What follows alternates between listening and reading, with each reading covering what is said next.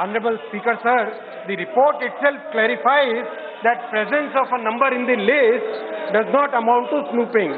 Honorable Speaker, sir, now let us examine what the NSO, the company which owns the technology, has said. I quote, NSO Group believes that claims that you have provided with are based on misleading interpretation of leaked data from basic information such as HLR lookup services which have no bearing on the list of the customer's target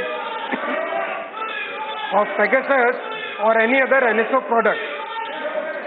Such services are openly available to anyone, anywhere and anytime and are commonly used by governmental agencies as well as by private companies worldwide. It is beyond dispute that the data has nothing to do with surveillance or with NSO, so there can be no factual basis to suggest that a use of the data somehow equates to surveillance. I highlight, sir, NSO has also said that the list of countries shown using Pegasus is incorrect. and many countries mentioned are not even our clients. it also said it also said that most of its clients are Western countries. It is evident, Honorable Chairman Sir, Speaker Sir, that NSO has also clearly rubbished the claims in the report. Honorable Speaker Sir, let us look at India's established protocols when it comes to surveillance. I am sure my colleagues in the opposition who have been in government for years are very well aware of these protocols. Since they have governed the country, they would also be aware that any form of illegal surveillance is not possible with the checks and balances in our laws and robust institutions. In India, there is a well-established procedure even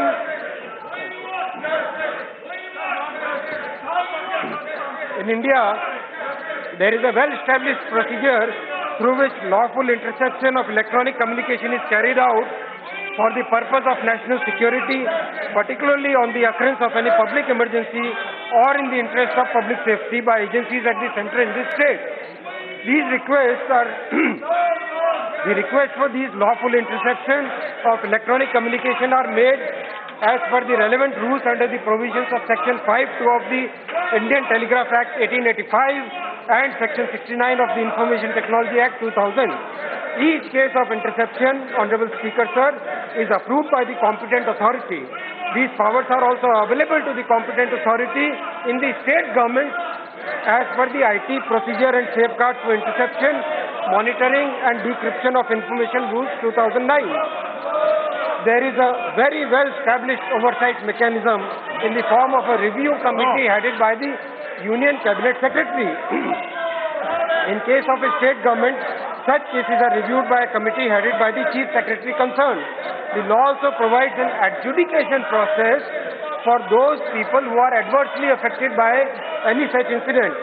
The procedure therefore ensures that any interception or monitoring of any information is done as per due process of law. the framework and institutions have withstood the test of time, Honorable Speaker Sir. In conclusion, I humbly submit that the publisher of the report states that it cannot say if the numbers in the published list were under surveillance. Second, the company whose technology was allegedly used has denied these claims outrightly and the time-tested procedures of our country are well established to ensure that unauthorized surveillance cannot occur. Honorable Speaker, sir, when we look at this issue through the prism of logic, it clearly emerges that there is no substance whatsoever behind this sensationalism. Thank you, Honorable Speaker, sir. मान्य सदस्यगण सरकार ने भी कहा है कि वह हर विषय हर मुद्दे पर चर्चा करने को तैयार है मैं सभी मान्य सदस्यों से आग्रह करूँगा कि आप जनहित और देश हित में मुद्दों को उठाएँ चर्चा करें तो उचित रहेगा यही संसद की मर्यादा है